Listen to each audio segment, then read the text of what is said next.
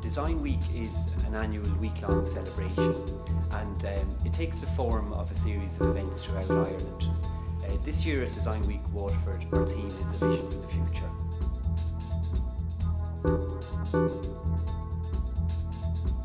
So, why is the future important?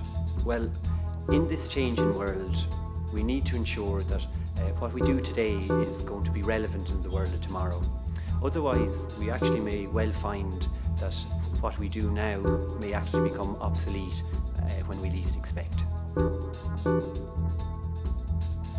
More and more as product designers, we are finding that we're not just helping develop new physical objects for the future, but we're also helping to develop new service ideas, both for businesses and, and for consumers. I'm a product designer, and as a product designer, it's part of our job to understand how the future is likely to shape up. Products take a long time to develop and to get out into the world, and can be with us for a long time. Therefore, as a product designer, and in fact I suppose for the creative industries in general, we really need to be aware of our responsibilities in the world as we create for all our futures.